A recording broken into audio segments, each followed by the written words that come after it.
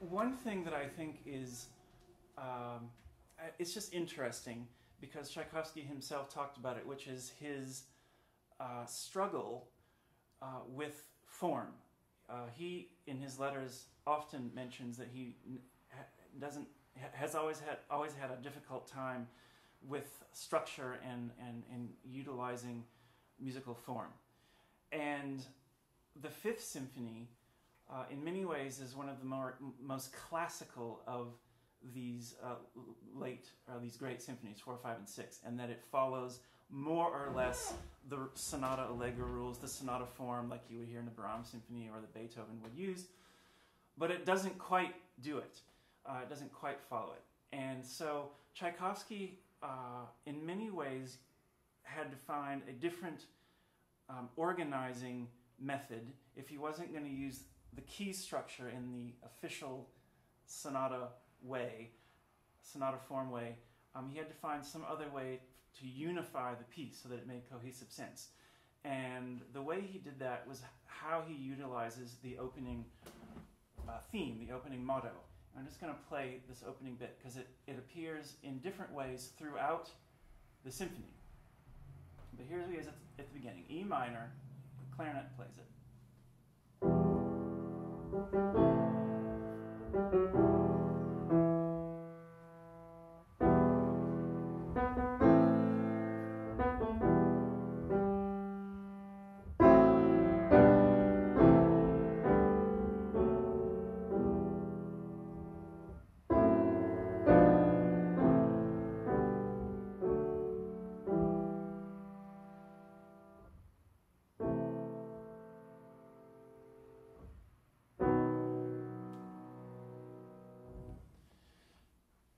From there, he brings in, that's all in the introduction. From there, he goes to the first theme, which is what we would expect.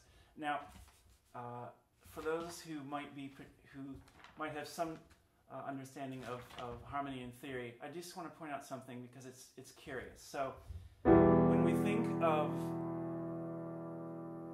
sort of traditional sonata form, there's the basic anchor pieces are one, the tonic, and the dominant. So we've all heard this before. But Tchaikovsky, right at the very beginning, centers us around what's called the four chord, or the subdominant. So instead of this, we get this. That's the first two chords of the piece.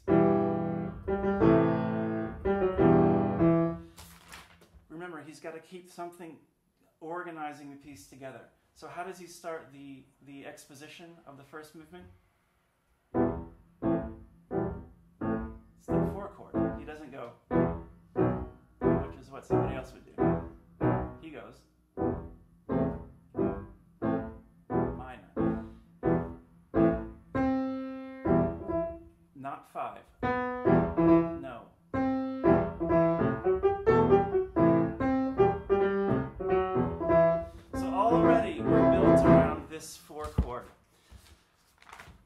Movement goes on. We have a beautiful second theme.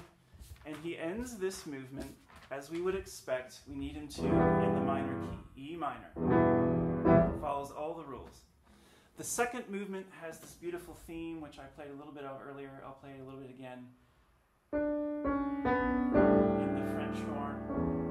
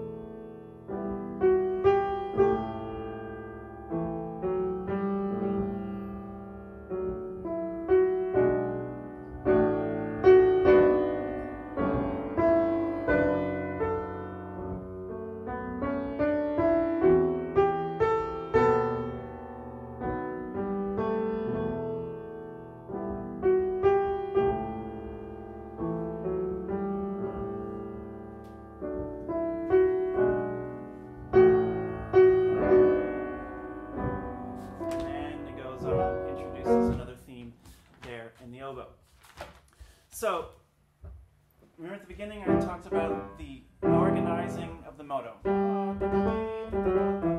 So he's going to be able to use this sometimes, the material from that to transition from one section to another.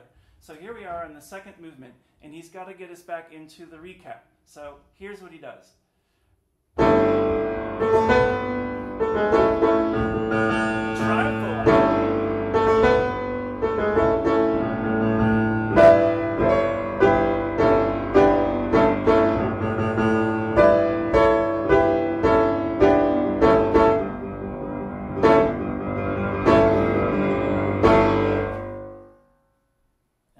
Us back to the recap. But there he has a very different character with that opening material. That transitions us, transitions us into the recap. He also needs to have a transition into the coda, and so he comes up with yet another way to use that opening motto.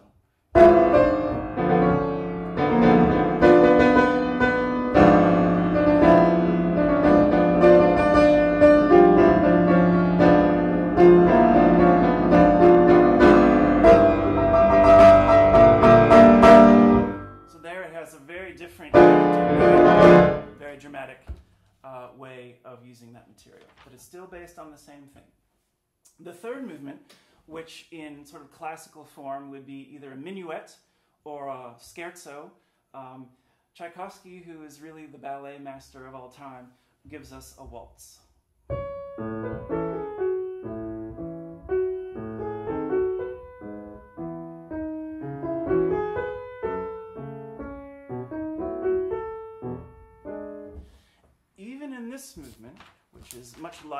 Character than all the others, as we would expect, talk about melody, beautiful melody in this waltz. Even here, he figures out a way that he needs to bring us back to the opening theme, bum, ba ba bum, ba ba bum, bum, and he does this here in the coda.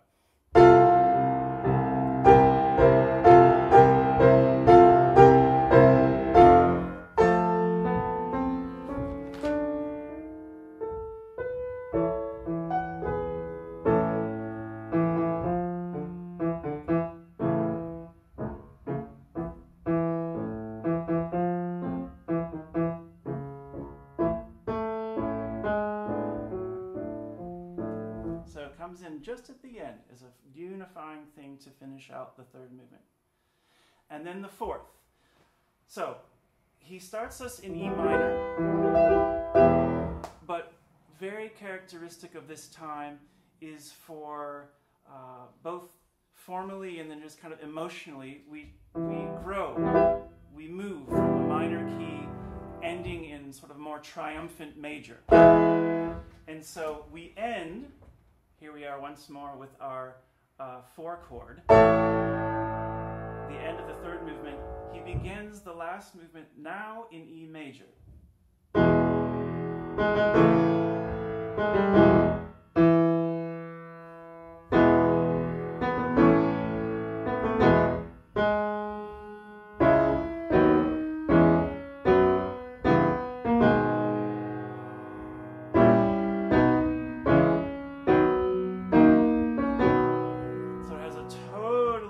Character. Here it's positive, tall, and grand.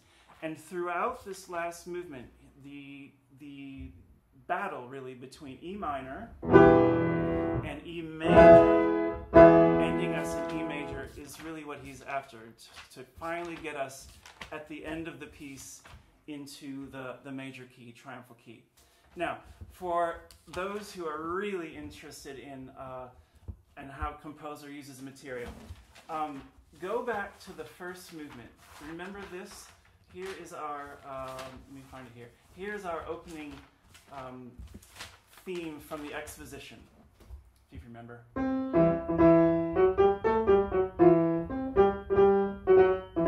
So at the very end of the piece, what happens if you turn that into major?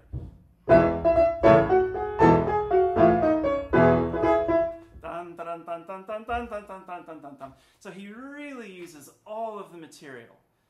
He's absolutely economical in what he does with it, and more so than the key structure, which someone like Brahms, turns out Brahms uh, heard this piece and loved the first movement, loved the second movement, loved the third movement, hated the last movement because it's the one that doesn't follow the rules for sonata form.